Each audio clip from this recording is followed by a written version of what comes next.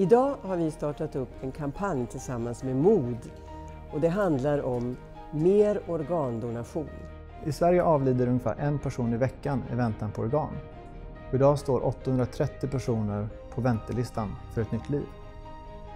Därför så ber vi dig som tittar att vara med och hjälpa oss och skänka minst 75 kronor till den kampanj som vi nu startar upp. MOD och 1,6 tillsammans. Eh, det första initiativet som vi tillsammans kommer att stötta är Real Heart som forskar på att ta fram mekaniska hjärtan. Eh, ett jättespännande projekt som vi är jätteentusiastiska över att få vara med och hjälpa. Och eh, vi hoppas att du också vill vara med och stötta det här projektet och andra projekt framöver för att hjälpa de som står på väntelista i Sverige idag. Och glöm inte att sätta in bidraget på 90-kontot till MOD eller till 1,6 för att hjälpa forskningen.